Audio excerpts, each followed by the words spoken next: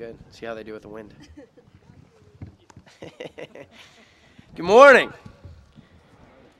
It is a pleasure to be back in Iowa. Thank you for that introduction. And Eric, that was amazing.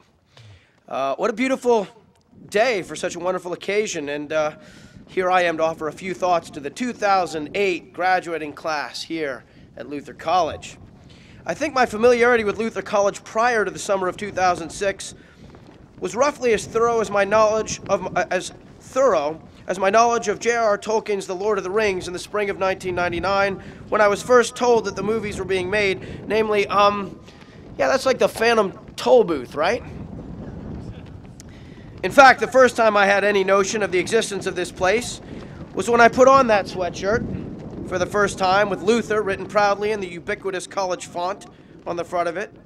It was indeed part of the wardrobe for my character, the true life graduate of this institution who I was portraying in our movie The Final Season. If Alex Trebek would have popped out of the trailer and quizzed me about the place I was proudly representing, I likely would have replied, um, 1517, the 95 Thesis Germany, uh, the printing press, challenging the papacy, thereby exhausting almost my complete recollection of everything I had learned at UCLA about Martin Luther.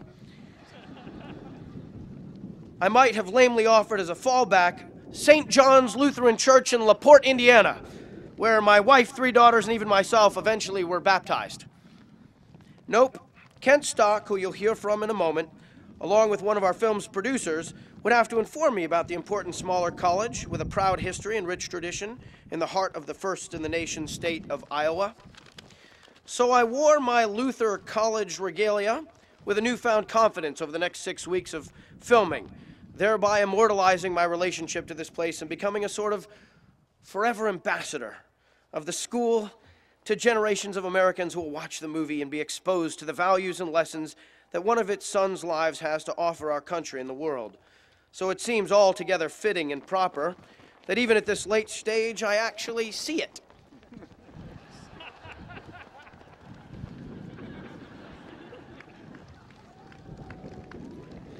Looks pretty good. Cool, now at least I can say that I did, you know, see it and say about Luther College that, you know, it looks pretty good. Folks ought to check it out. It's pretty cool. It's in Iowa and it's cool and it looks pretty good.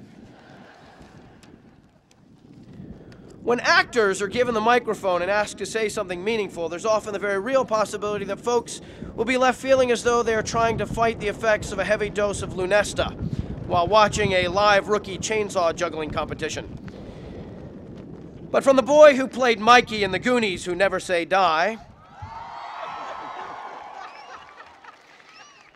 from the man who played Rudy,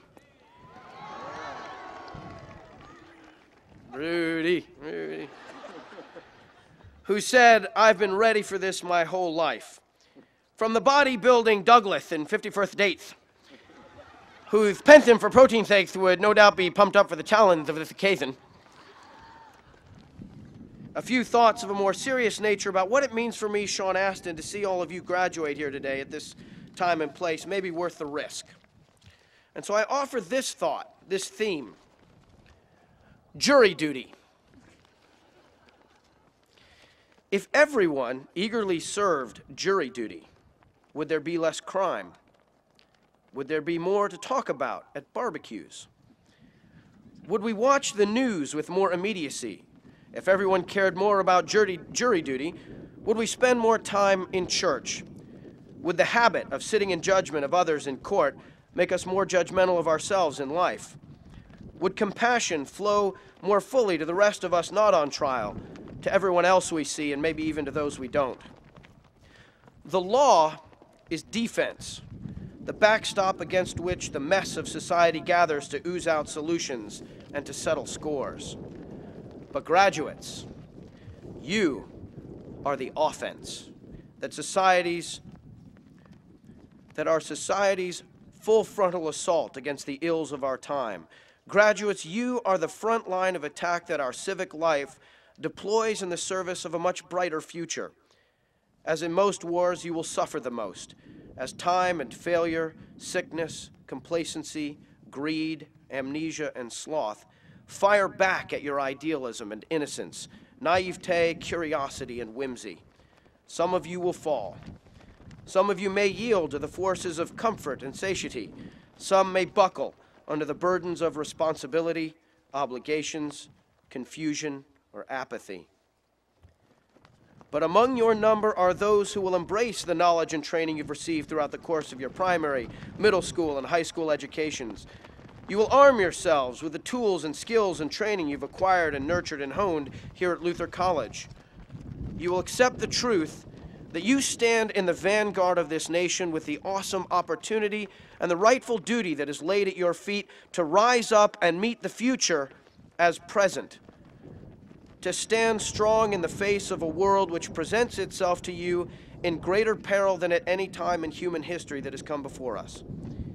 It is, in actual fact, entirely up to you to link arms with your brothers and sisters, sisters across the country and around the world, to see yourself in their eyes and to determine together that this life, this planet, this nation will not crumble before our very eyes.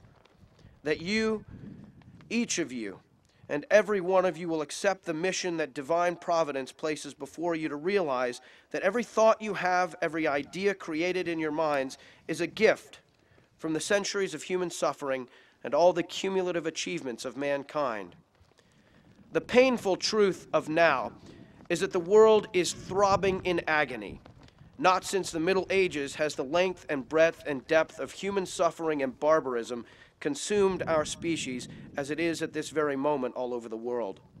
Global food shortages, the squandering of our natural resources, our environment is being eviscerated by the reckless destruction of our delicate ecosystem.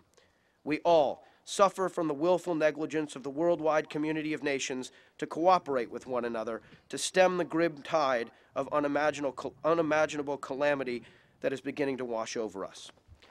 And so it falls to you you have no choice but to steel yourselves for a life of challenge, a life of pushback against the many systems which may not be designed but nonetheless function to frustrate progress, to shunt development, to deny improvement. But there is good news in the truth that you, 2008 graduates of Luther College, are in fact ready for a life of leadership, a life of unwillingness to accept mediocrity pettiness, half measures, or failure. You begin now a life of awareness that the government is you, that public service is the oxygen that our national life must breathe, lest it suffocate in the vacuum of indifference, opportunism, and hate.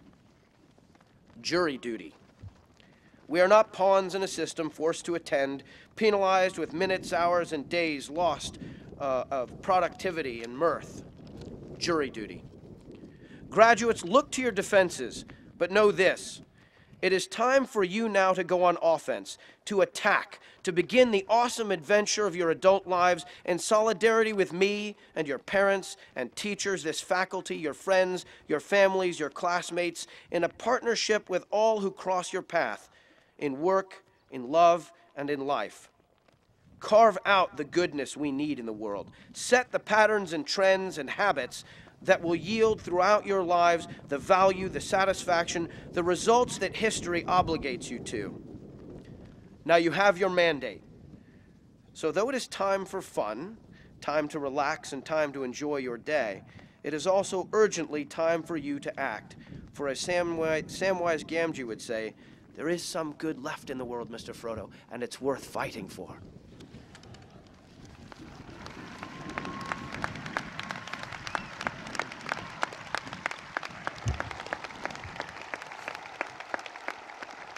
I offer you now the man who I was uh, proud to be able to portray, whose spirit uh, I was able to try and capture, at least for some small portion of his life. Uh, your very own, the inimitable, the definition in my mind and eyes of the very nature of success, Kent Stock.